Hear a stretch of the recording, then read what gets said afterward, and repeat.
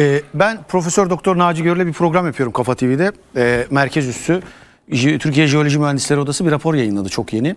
Ve 18 ilin içinden fay hattı geçtiğini ve bu 18 ilin e, birinci derecede insanların hayatını tehlikeye atacak deprem riskiyle karşı karşıya olduğunu söyledi. Ve Naci Hoca siz de tanırsınız çok kıymetli, tabii, çok. çok, benim program Dikkatle takip ediyorum. Bunları anlatırken ağladı programda. Yani bu o sadece hocanın değil bilimin gözyaşları Türkiye'de ve şunu söyledi dedi ki e, bir gecede 50 binden fazla insanı mezara soktuk. Ne bir vali, ne bir bakan, ne bir belediye başkanı istifa etmedi. Şimdi bu soruyu şunun için soruyorum. O 6 şehirden bir tanesinin belediye başkanı da Cumhuriyet Halk Partili. 10 şehirden. E, tabii ta- dahil ederseniz. Tabii yani E, Osmaniye'de de kayıp var sonuçta. Tabii Az ama çok haklısınız. Siz mesela Hatay Belediye Başkanı'nı başarılı buluyor musunuz? Bir sonraki dönem sizce yeniden aday olacak Sizce diyorum e, aday yapacak mısınız? Bunu e, geçtiğimiz günlerde memnuniyet anketi çalışılırken Hatay'ın anketini oldukça detaylı, siyasi kırılımlara göre, ilçe kırılımlarına göre ve elinizde bulunan, bulunmayan bütün kırılımlara göre detaylı alalım. Hatay'da vereceğimiz karar çok tarihi bir karar olacak. Çünkü depremden sonra Hatay başkan hakkında ne düşünüyorsa o karara biz uymak zorundayız dedim. Onu göreceğiz. Zaten eğer Hatay bir şey söylüyorsa, vatandaş bir şey söylüyorsa, sen onunla inatlaşıyorsan onun bedeni sana sandıkta ödetir. Ama ben Hataylıların bu konuda ne düşündüklerini merak ediyorum. Çünkü Hatay'da ben depremden depremden 12 saat sonra Malatya'daydım. Bir hat izleyerek 3 gün sonra da Hatay'daydım. Hatta e, Bodrum Belediyesi'nin e, kurmuş olduğu e, konteyner kent kurmak istediği çadır kentin ilk çorbasını içen bendim. Yani iki gün 12 saat iki buçuk gün sonra oradaydım. E, orada şöyle bir şey vardı. Geç kaldılar, gelmediler, ayrımcılık oldu diyerek hükümete müthiş bir tepki vardı. O tepki halen sürüyor. Bizi en sona bıraktılar. Enkaz kaldırmada sona bıraktılar. Şunu da bıraktılar. Hatay'da iki duygu birbiriyle yarışıyor.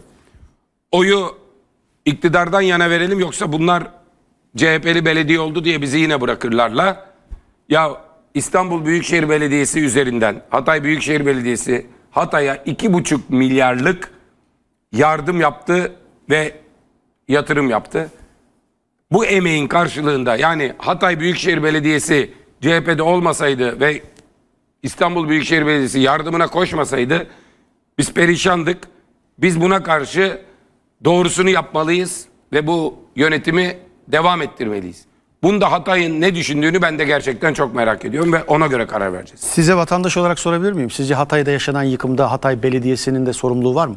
Ya şimdi bir şehirde yıkım yaşanıyorsa o şehirde herkesin sorumluluğu vardır. Bir bina yıkılıyor. Daha önce çok konuşuldu bu. İşte 42 tane imza binada var. O imzaların çok önemli bir kısmı merkezi yönetime ait. Bir kısmı yerel yönetimlere ait. Orada herkesin sorumluluğu vardır. Dirençli kentler diye yeni bir kavram var. Daha doğrusu bizim yeni radarımıza giren bir kavram var. Bir kentin her türlü doğal afete karşı ve depreme karşı dirençli olarak inşa edilmesi lazım. Bunun büyük planlarının büyük otorite tarafından yapılması lazım. Ama daha küçük planlarının kenti yönetenler ve daha küçük belediyeler tarafından, Büyükşehir Belediyesi ve belediyeler tarafından yapılması lazım. Burada bir kusur biçilecekse yerel yönetimlerin hiç kusuru yoktur demek mümkün değil. 10 belediyeden biri bizim. Ben o kusuru alırım. 9 kusuru da Adalet ve Kalkınma Partisi'ne e, ait olduğunu dikkatlerinize sunarım. Ee, parti meclisinde Ekrem İmamoğlu'nun mu ağırlığı var? Parti meclisinde kimsenin ağırlığı olduğu iddia edemez. Cumhuriyet Halk Partilerinin ağırlığı var. Bizim parti meclisi çünkü mesela Recep Tayyip Erdoğan'ın dolma kaleminden ya da Sayın Devlet Bahçeli'nin söyleyip de yanında özel kaleminin yazdığı bir şeyle oluşmuyor. Şöyle oluşuyor bilmeyenler için söyleyeyim. Kurultay başlıyor.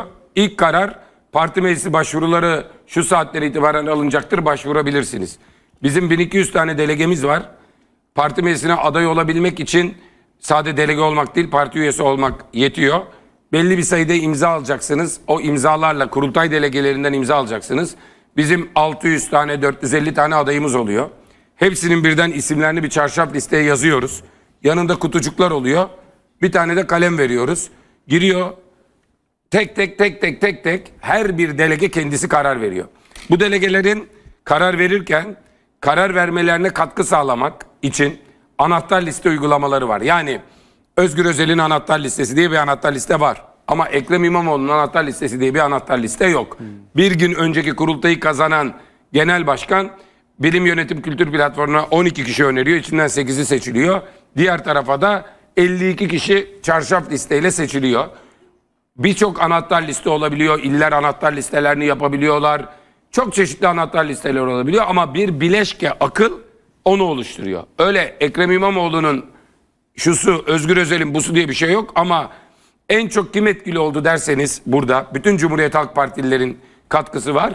İl başkanları, ben seçildikten sonra 81 il başkanı davet ettim.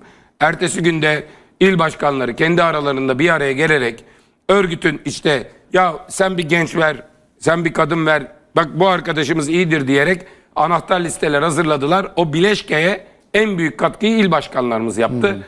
Ama Cumhuriyet Halk Partisi'nin parti meclisinde Cumhuriyet Halk Partilerinin ağırlığı var. Kimsenin ağırlığı yok. Ne benim ne Ekrem Bey'in ne bir başkasının.